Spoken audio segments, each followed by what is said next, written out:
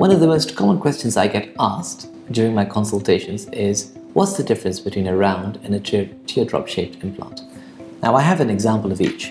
So, if you look, I'm in my right hand, I'm holding a teardrop shaped implant, and in my left hand, I'm holding a round implant. And you can see that the profile of the round is equal, so it's like a, a semicircle, whereas the teardrop shaped implant has a slope. This means that many people think that with a teardrop shaped implant, you get a much more natural result. But in fact, that's not necessarily true. You can get a very similar result by using an appropriately selected round implant.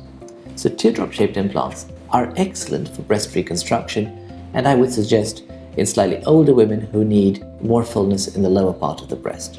Whereas round implants are great for uh, the younger patient who just needs a larger breast or is looking for a larger breast. A round implant also gives a little bit more upper pole fullness.